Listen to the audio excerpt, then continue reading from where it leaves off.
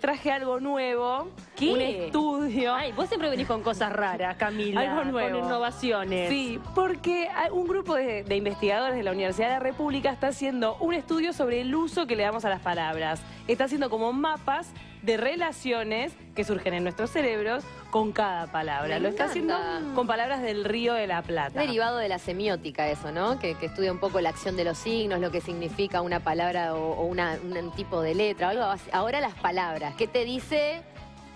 Ahí va. ¿No sabes? ¿No sabes las cosas que han surgido con algunas palabras? Se van a sorprender. Y además, a la vuelta del tape les cuento cómo pueden participar.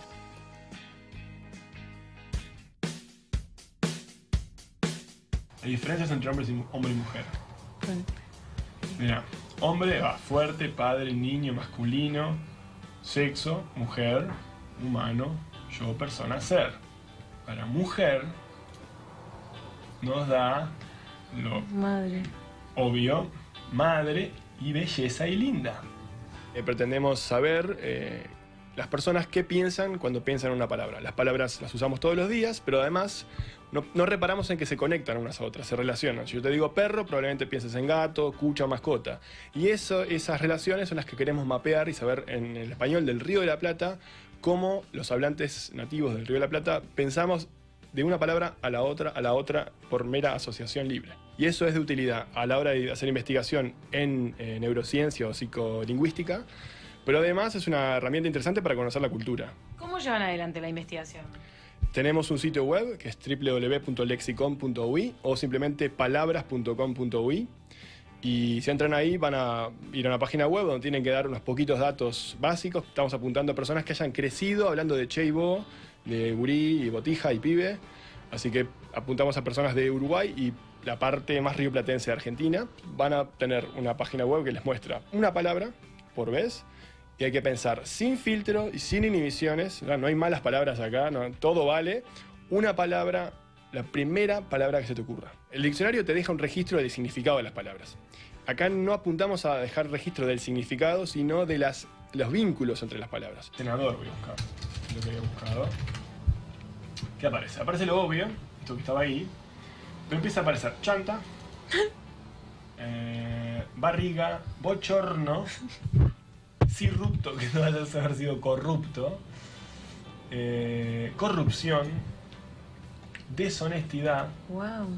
engaño, hipócrita. Eso sale para senador. ¿sí? Wow. Y recién acá abajo aparece alguien que dijo respeto.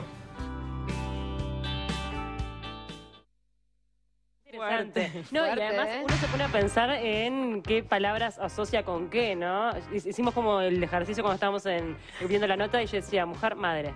Lo primero que se me viene a la mente. Claro. Y aparecía linda también en el estudio de ellos, eh, mujer linda, hombre parece hombre fuerte, o sea... Y hay que- palabras asociadas a Peñarol y Nacional que no las vamos a compartir. No la vamos a decir, esa parte no la dejamos.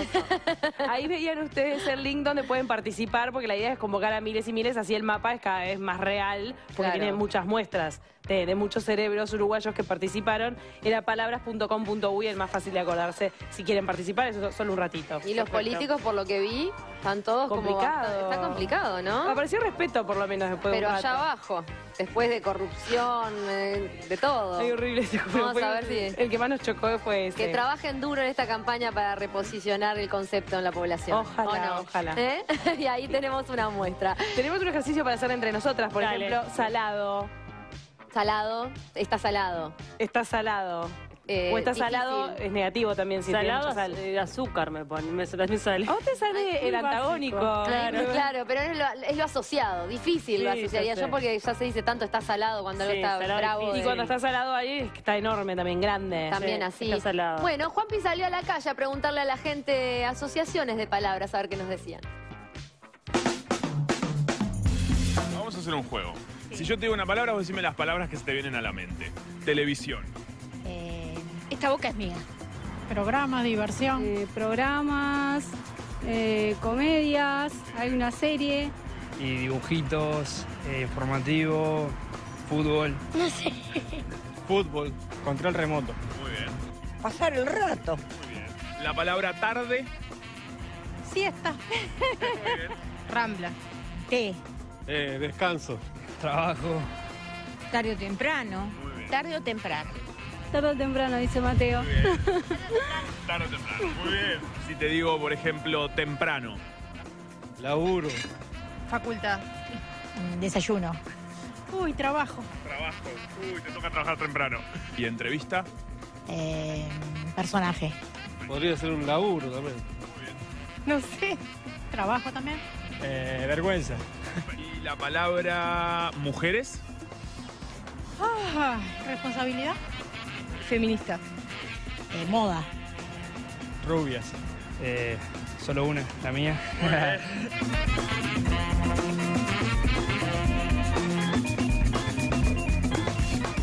¡Qué galán, el Aplausos. Me Quedó están bien. filmando, voy a salir al aire. La mía, me mató. Obviamente No, que lo van a avisar después. Pobre, la señora que dijo responsabilidad, era como No, que y sí. suspiro, suspiro y responsabilidad. Suspiro, ¿no? Bueno, y Qué esto- salado.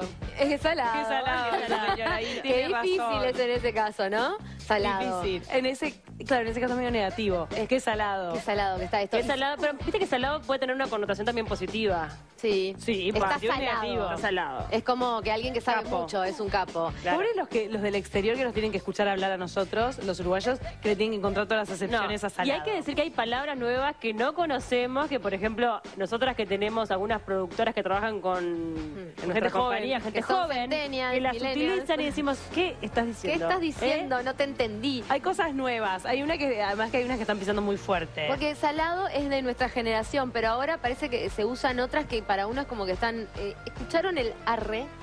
El arre. Arre, ¿Qué sí, es yo lo escuché. arre? No sé, no, ¿sabes qué? No sé cómo Es el usarlo. ruido de caf- de Nunca sé cómo caballo. usarlo. el Arre, arre. sí, sí, sí. O yo digo, arre, pienso que es tipo, me, me quiero hacer la copada y es como, sí, es así. Claro. arre, como- pero no, es- Re ¿Sabes es que a mí mi hija No me hace significa bullying eso. también? Me hace bullying porque yo lo quiero incorporar y decirlo y siempre me mira y me hace.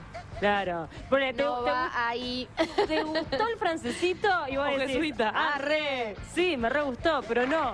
¿No, es ahí? no, ¿Y no qué ahí. es arre? No sé. Cuando estás... Chi- Eh, Ceci se Chicas, voy a hacer bungee jumping. Ah, re.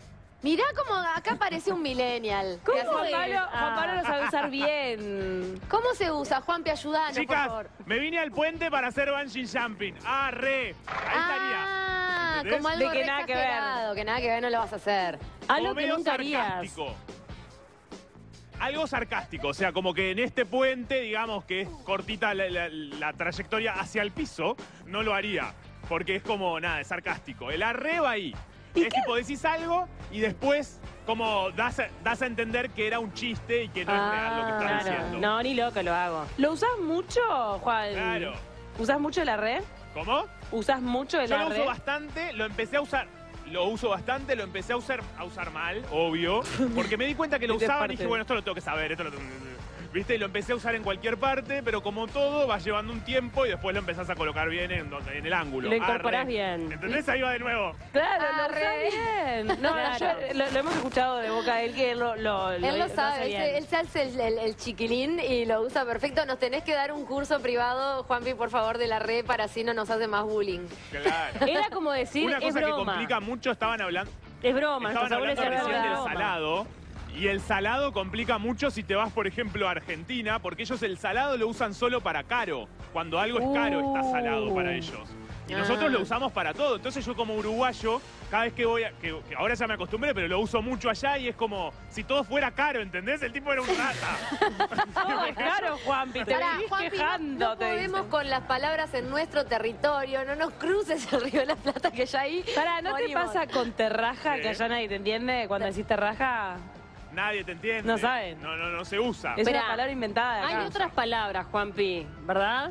Nuevas. Sí. Hay, hay otras palabras nuevas. Acá tenemos otras. Por ejemplo, El ATR, ¿cuál? A ver, usá ATR. ATR.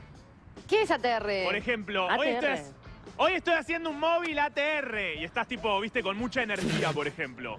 O sea, ATR. por ejemplo, la actitud ATR sería así, ¿viste? Si Porque uno es- la pusiese en actitud sería acá Power. estoy ATR. ¿entendés? ¿Quién lo habrá inventado? Como Porque es- la energía, digamos. Es una sigla para decir a todo ritmo. Claro. Hoy Ah, estoy a estoy a todo ritmo, estoy ATR. Dios mío, yo recién estoy con Pero la de procrastinar y la otra que era, ¿cómo era la que cuando decís? Procrastinar. Procrastinar es dejar para después y la otra cuando, cuando decís el, el desenlace de algo antes, no Em, spoilear, spoilear, esa. spoilear. No spoilees. Esas dos son las únicas Claro, que eso tengo. viene, por ejemplo, de cuando empezás con las series. No me spoilees el capítulo y de eso se Ah. usa Eso ahora ya para está la vida. Es naturalizado como en no me adelantes el final. Sí, pero no en todas. O sea, ¿Cómo? mi padre no sabe. Que eso, lo de spoilear, está generalizado en, en las generaciones más jóvenes. Claro.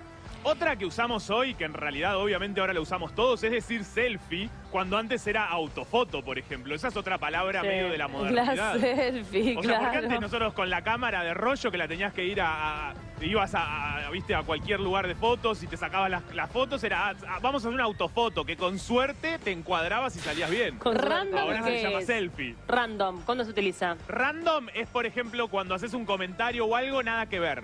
Cuando es algo que está fuera del lugar o, es- o una cosa así. No fuera Ah, del lugar con ah, no, connotación no negativa. Esa re ahí, no es lo mismo. Ah. No entiendo mismo. nada. Basta. No me torturen más con todo. Random es cuando es algo. Random sería como fuera de lugar, como algo que no tiene que ver con lo que. Bueno, mira, te digo algo random o voy a hacer algo random, En es el medio fuera de lugar. de- Eh, Está. De lo zarpado. Pero no con connotación negativa, o sea, no necesariamente tiene que ser algo negativo. si Random decís es mi algo tía random. tiene un biombo. ¿Entendés? Tirame una palabra random, así. ¿No? No, es que palabra random no puede ser, por ejemplo, en un momento.